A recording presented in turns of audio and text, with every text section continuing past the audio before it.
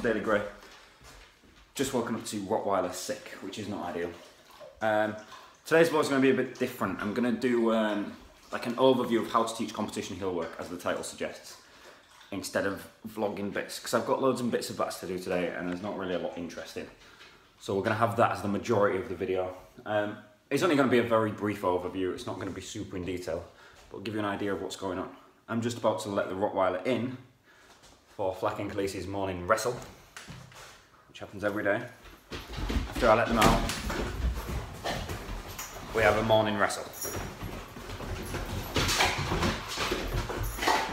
This is how we start the day. Right, so as it happens, we have had a change of plan. that change of plan being that I've just realised my van's not packed. Um, which essentially means I can't go anywhere until tomorrow because the fucking garage didn't send the logbook in time and I haven't got it. Um, so they're going to tax that for me first thing tomorrow. We'll do the heel work tomorrow. Today I want to talk about reactivity instead. So reactivity is basically, I'm going to do this in three parts. The Greyhound, the Shepherd, the Rottweiler.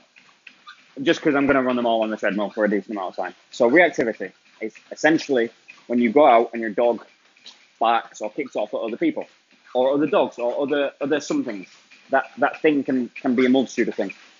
Some dogs are dog reactive, some dogs are human reactive, some dogs are car reactive, small wheel reactive, you know, like bikes, scooters, things like that. It really doesn't matter what they're reactive to. You need to deal with this, and you need to understand something called threshold. So threshold, go on, good boy. Thresh.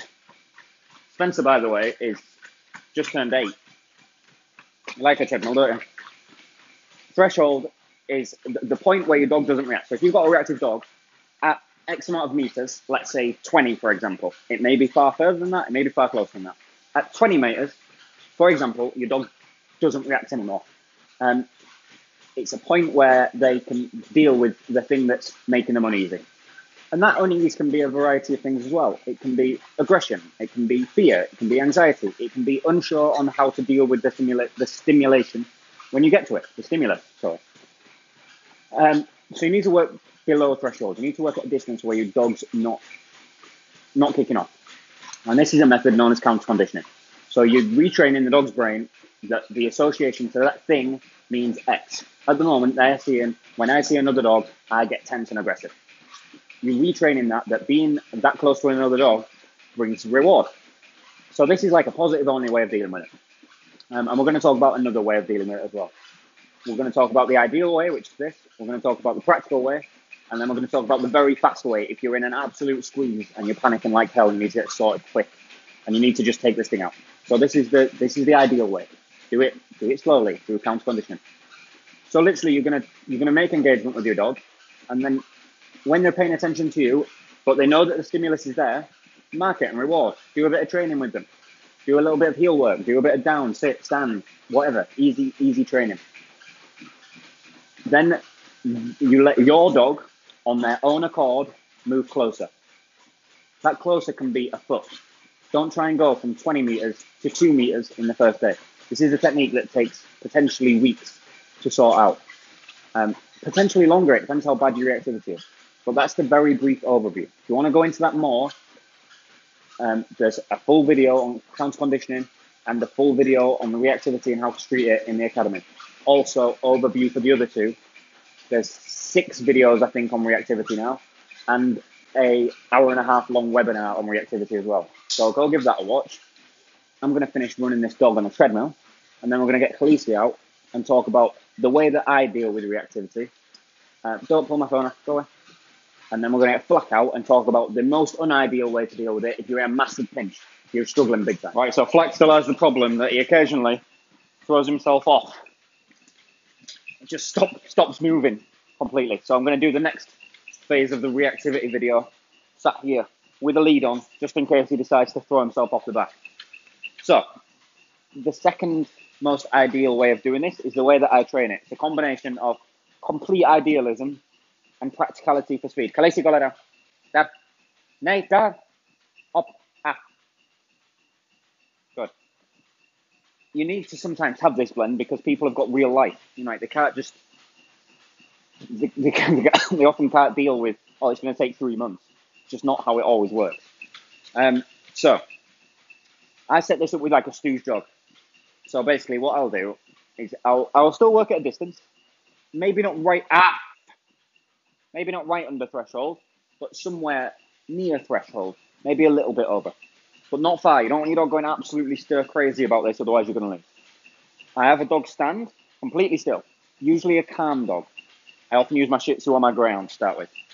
And then I walk the other dog past, like say at a distance. That distance might be five meters, might be 10 meters, depends on the dog. Might be one meter, depends on the dog.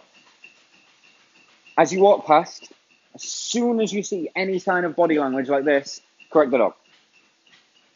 That correction needs to be in, in line with you know how severe the reactivity is and how the dog responds to correction. Keep walking. Walk past again, correct the dog. No rewards at this point. Is only positive punishment at this point. The reward is we keep walking. The reward is I don't kick you in the face. Not literally, obviously, just a, a normal lead correction before anyone starts fucking crying. Um, as the dog starts understanding that, you walk past, mark the behavior if they ignore the dog. So mark it with the continuation marker, good. And then as you get past the dog, mark it with a reward marker, yes, feed. You keep repeating this, keep repeating this. And you move the stooge dog a little bit closer after a while and a little bit closer until you're sort of, you know, within a couple of meters of each other. And then you put that dog away and you get a more excited dog out. And you repeat the process, but you repeat it again back from the beginning. German Shepherd, why are you up? Khaleesi, Dad, off. She's dying to get on this treadmill. Dad, off! Ah, Jesus. Now, this is one of the Mally problems constantly want to be fucking going. When my ground was on here, she's like trying to get on the treadmill with him. Now he's on. She's trying to get on the treadmill. Um, so you've got that bit down. If you jump off now, I've got that lead, we're going to fall out. You repeat that with a slightly more exciting dog, and you repeat with a slightly more exciting dog, a slightly more exciting dog, and you keep setting this up. And then you need the the stooge dog to start moving as well. So you're now setting up like a normal walking scenario. Once you've set up that walking scenario, then you go out into the real world and commit to it there. Um, so that's the second way. That's the ideal way. It's how I teach it. I teach it in a conjunction with the first way. The last way I'm going to talk to you about, when Khaleesi is on the treadmill, is a way that I would never teach it unless it was absolute last fucking resort, as in dogs on death row, the human's about to have a massive breakdown, it can't go anywhere, it's unrehomable, there's just zero chances for the dog. Then I would use this last method. So I'm going to keep running this Rottweiler now for these last He's going to do 40 minutes, I hope. We are currently four minutes in, so we've got a fair old run to do. Um, and I will catch up with you when Khaleesi's on the treadmill for this last bit, the last, the last hurrah. There he is, doing his bit. The lead, by the way, isn't tied to anything.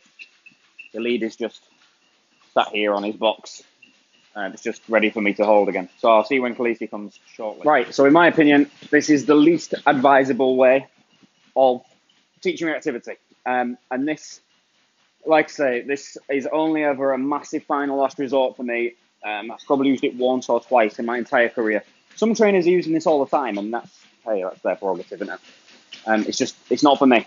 It's not it's not the one that I would jump to ever, unless it was an absolute last resort. And it's just through compulsion. So you're not really dealing with the psychological issues here. You're just taking that knife edge, the sharpness away so people can start dealing with it. You know, if they're really, really struggling or they're very disabled and the dog can't be rehomed or um, there's a multitude of reasons, isn't there? But the bottom line is I need to make this very clear that you shouldn't use this unless you absolutely have to. Don't use it as a quick fix, although that's exactly, hey, come on. That's exactly what it is, it's a quick fix. So, compulsion. Every time the dog makes any noise or any sign or any vision of wanting to kick off, you correct it and you correct it hard, whether that be through e-collar, whether it be through pinch, whether it's through chain, whether it be through a flat collar, whether it be through harness. It really doesn't matter. It depends on the dog, depends on the severity of the dog's behavior. Um, but like I say, don't don't use it. I'm not even going to go into it in proper detail here. I'm not even going to skim over it properly. Come on. Because I don't want people thinking, oh, I'll just use that because it's the easiest way around it. Don't use it. It's a bad idea. But I wanted to address it because it's a way that some trainers will be doing it. It's a way that you can look for. You know, is this trainer suggesting this as a first resort? Probably avoid them. Um, but yeah, there's three ways to fix um, reactivity. Khaleesi is three minutes in of 45. Flex done 45. Spencer's done 45. Jack's not going on today. Um, it's important to let these two run their energy off when I can't get out, and it's important for Spencer to get the time on just because he's getting older. So I am now going to dash. Going to finish running Khaleesi on the treadmill and uh, get to work with the office work that comes with every single night. And I will catch you all tomorrow for DailyGray, where we will definitely do the heel work video. I say definitely, if the fucking garage ring me to tax this vehicle. Come on, hey, come on, get on. Stop being lazy. Lazy dog. Um, if you're enjoying the videos, please, please, please hit subscribe, share it around, send it to your friends, hit the like button, do whatever you want to do. All of it helps me out. Leave a comment. Any engagement massively helps me out here on YouTube. Um, if you want to join the academy for the full reactivity videos, like say, the six and a full hour and a half webinar, hit the link in the description. Join the academy. You'll get a first month for free. Um, and I'll see you in there. So, question of the day, since I forgot to do one yesterday, I think.